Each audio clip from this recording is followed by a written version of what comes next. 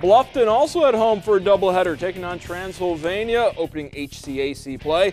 Arlington Stain Record hitting the turnaround jumper for Bluffton, and then it's LCC graduate Billy Taffinger spotting up, hits the deep three for the home team. More from Bluffton, Jared Wentling. Living from outside, another triple for the home team as Bluffton picks up the two-point victory over Transylvania, 6 5000 81-95